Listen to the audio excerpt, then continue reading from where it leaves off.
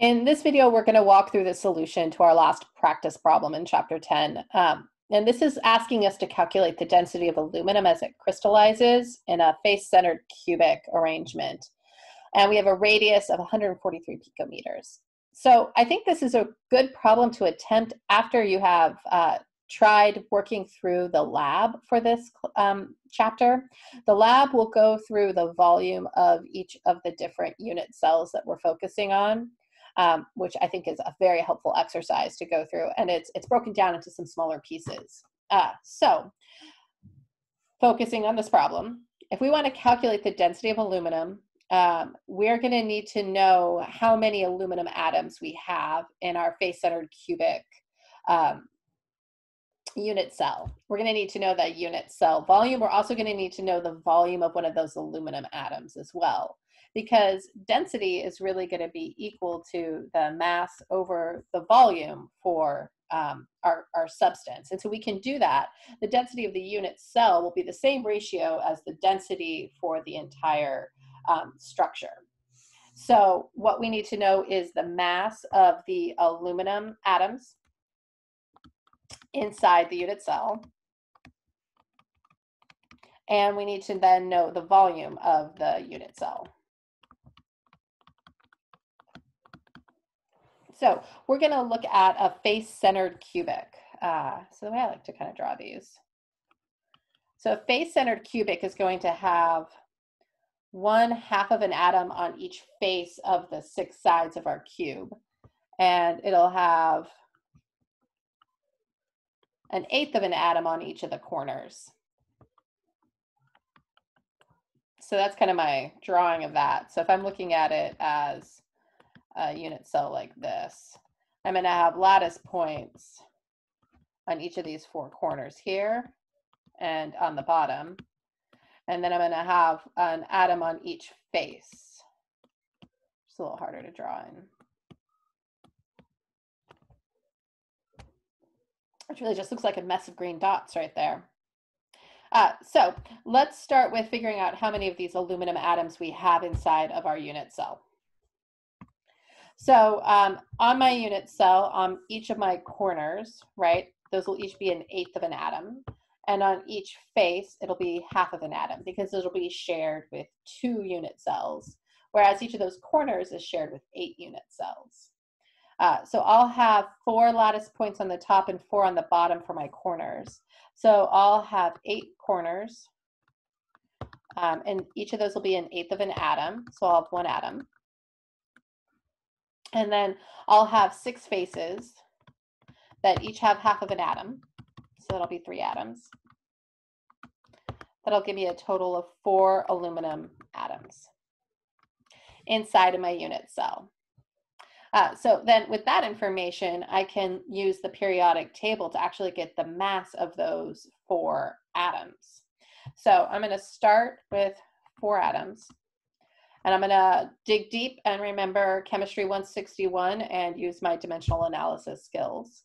Um, I know that I'm going to try to create a, a strategy here that's gonna end up with grams. Um, and I know that if I have, when I end with grams, I should have grams on the top of my last conversion factor. Um, the only thing that I have that'll have a mass unit associated with aluminum would be its molar mass from the periodic table. So I can always find the grams per mole of any substance. Um, I won't be able to actually, I don't want moles in my answer, so I, I have to cancel that. Um, and so now I'm looking at how to go between atoms and moles. And that's going to be Avogadro's number. So this is going to be a two-step um, conversion right here. So for every one mole of aluminum, I'm going to have 6.022 times 10 to the 23rd atoms. It's Avogadro's number.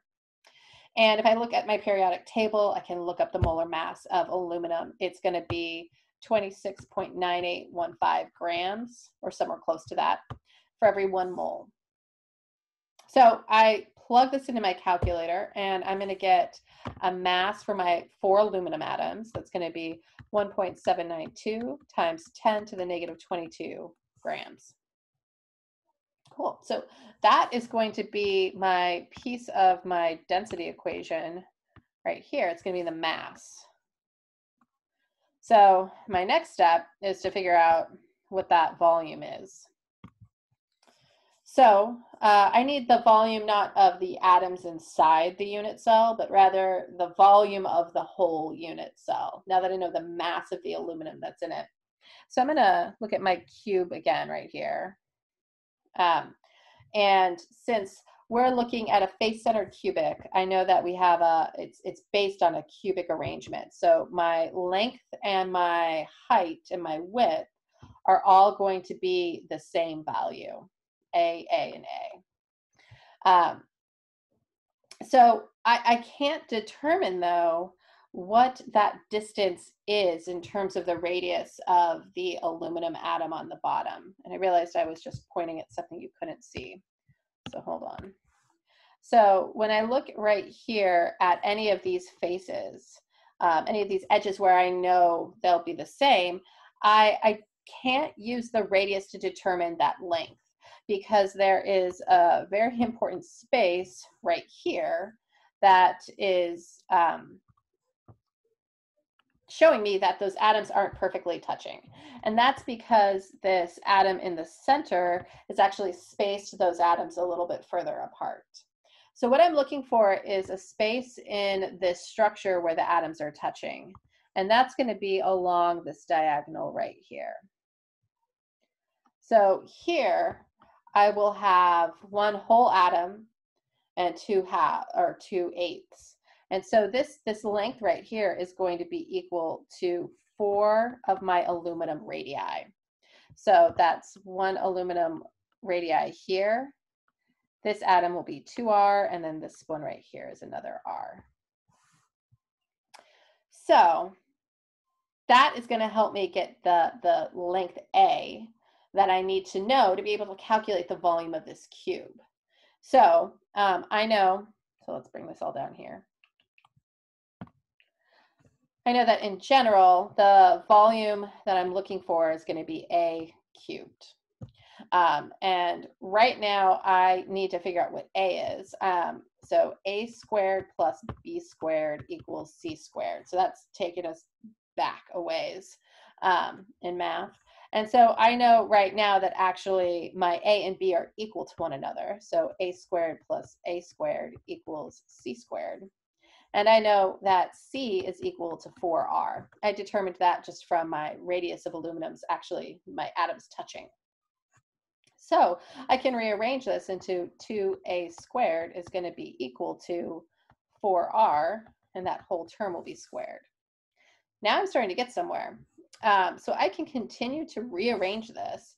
I'm going to get uh, 16 over 2R squared is going to be equal to A squared rearranging some more and solving this, I'm going to end up with the square root of 8 times the radius is equal to that length A. And I know my radius. My radius was given to me as, we come back up, 143 picometers. So I'm going to plug that in. Um, I'm actually going to plug this just into my volume equation. So my volume is going to be equal to that square root of 8 times R, which is 143 picometers. And that whole thing is cubed because it'll be A times A times A, length times width times height. Um, so plugging that value in, I'm actually going to get my volume of my unit cell, which is 6.6167 times 10 to the seventh picometers. All right. Uh, I, I, have yet to see density reported in units of grams per picometer. Um, I'm sorry, picometer. Sorry, this is cubed, picometer cubed. Uh, usually it's grams per milliliter. All right, if you remember, one centimeter cubed equals one milliliter. So I'm going to try to convert this volume into centimeters cubed. Uh, so I'm going to start with my 6.6167 times 10 to the seventh picometers cubed.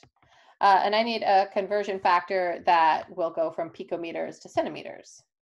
Uh, well, one cubed picometer, ah, picometer cubed is going to be equal to 10 to the negative 10 centimeters cubed. And, and, and it's really important to remember to cube here um, because we know that uh, one picometer is equal to 10 to the negative 10 centimeters.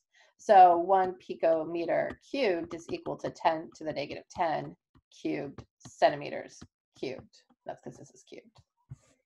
Ah, so now that we have this set up, this is going to equal, I'm going to start rounding here, 6.618 times 10 to the negative 23 centimeters cubed. All right, now we finally have the volume we were looking for to match, oh, wrong color, the volume to match the uh, volume in our density equation. So then let's let's solve this problem. Um, density is going to be equal to mass over volume. Like the mass that we calculated is this 1.792 times 10 to the negative 22 grams. So we'll plug that in.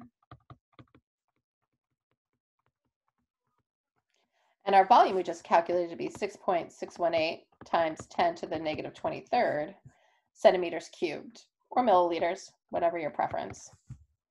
Uh, if I plug this into my calculator, I'm going to end up with a value that is 2.71 grams per centimeter cubed, which matches the density of aluminum nicely.